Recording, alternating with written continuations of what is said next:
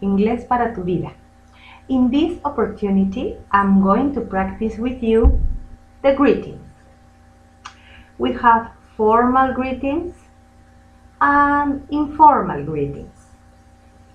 What's the meaning of greeting? Greeting in Spanish means un saludo. Los saludos en inglés. Let's repeat. Greetings. Greetings. Formal greetings. Informal greetings. Very good. Let's go to the informal greeting. Here I have an example. Hi. For example, I can say, Hi, Paul. I'm Gisela. Nice to meet you. Let's repeat. Hi, Paul. I'm Gisela. Nice to meet you. Nice to meet you. Very good. And his answer can be Hi, Gisela. Nice to meet you too. Let's repeat. Hi, Gisela. Nice to meet you too. This is a very informal greeting porque tenemos en las entradas hi. Hi. That in Spanish means hola. ¿Qué tal? Right? Another greeting that is also informal, pero no tan informal, que podemos utilizar con personas que conocemos relativamente es el siguiente. Good morning.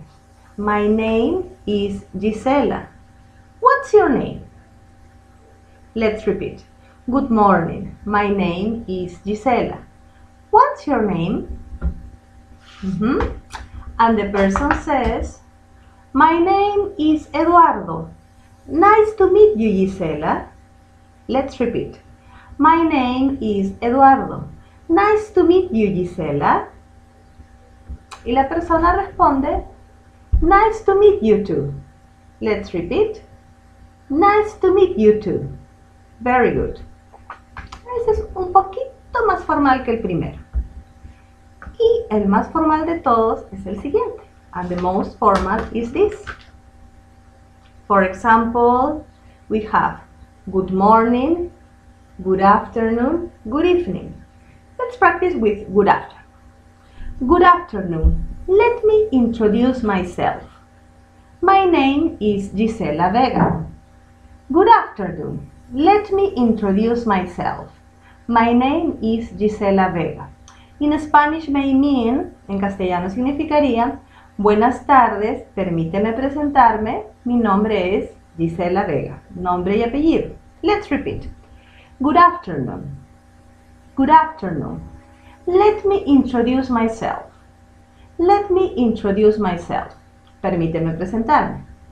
My name is Gisela Vega. My name is Gisela Vega. Very good. And the other person can say, It's a pleasure to meet you, Gisela.